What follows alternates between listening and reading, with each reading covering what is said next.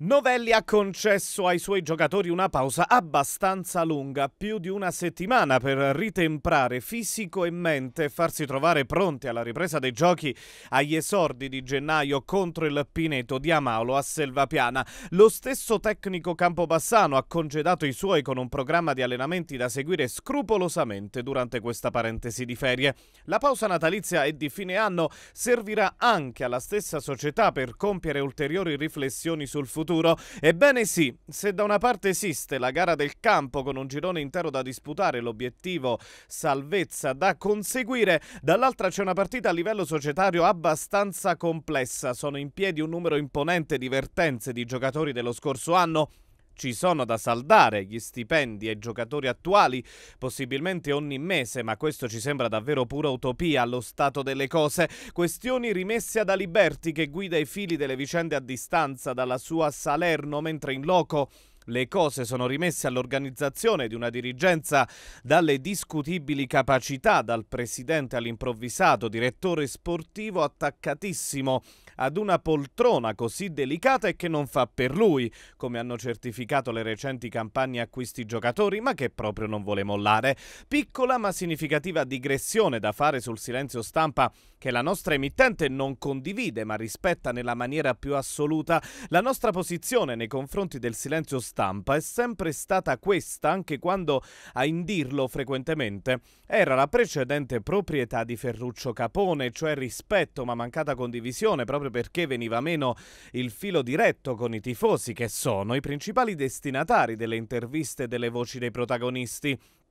Parlavamo di coerenza, la stessa che manca evidentemente ad alcuni personaggi che oggi sono ai vertici della società e che tengono la bocca rigorosamente cucita, mentre all'epoca di Capone erano protagonisti di critiche acerrime nei confronti dei silenzi stampa promossi dall'imprenditore avellinese. Altra ed ultima considerazione sul silenzio stampa attuale del Campobasso, se le campagne di comunicazioni devono consistere in roboanti annunci di vittoria nei mesi rigorosamente di luglio ed agosto, oppure in propagande imponenti su un ripescaggio in Lega Pro che sembra davvero cosa fatta, salvo poi dire il giorno prima della presentazione della domanda. No scusate ragazzi, stavamo scherzando, non si parte più per Firenze allora è davvero meglio stare zitti.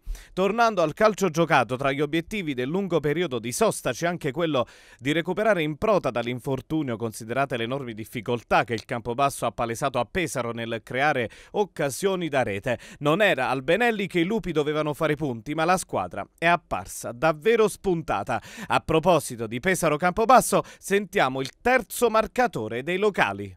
Rocco Costantino, attaccante del Pesaro, felice per questa vittoria che a questo punto vi eh, candida sicuramente ad una delle squadre che può vincere il campionato.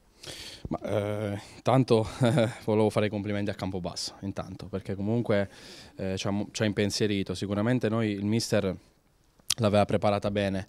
Aveva... Vabbè, impensierito in che senso? Chiedo scusa. a, inizio il primo tempo sicuramente eh, non riusciamo a trovare la giocata giusta, quindi... Fase di contenimento. Sì, sì giusto, giusto. E quindi niente sì, con questa vittoria oggi diciamo che la nostra classifica insomma, migliora ancora, ehm, siamo contenti sicuramente, siamo lì quindi possiamo giocarcela sicuramente. Hai segnato il terzo gol, merito a Ridolfi, avete duettato davvero credo per 30 metri. Sì, sì, sì, ma infatti era quello un po' che non ci riusciva il primo tempo, insomma, cioè, abbiamo cercato di comunque giocare, di, di cercarci, però ribadisco, era comunque la difesa del Campobasso si è comportata benissimo benissimo, poi il secondo tempo diciamo che gli spazi si sono aperti e quindi abbiamo sfruttato insomma, le, le, nostre giocate. Ecco. E adesso questo girone di ritorno tutto da giocare con Fermana, San Nicolò, lo stesso Matelica, voi che lottate per un posto? Ma sì, sicuramente, eh, ma noi, come ho detto già nelle scorse settimane, tendiamo sempre a migliorarci, quindi pensiamo a noi stessi. Certo, eh, sembra una frase fatta, però è quello che, che vuole il mister. L'obiettivo del mister è quello di migliorare la squadra e di migliorare tutta la rosa.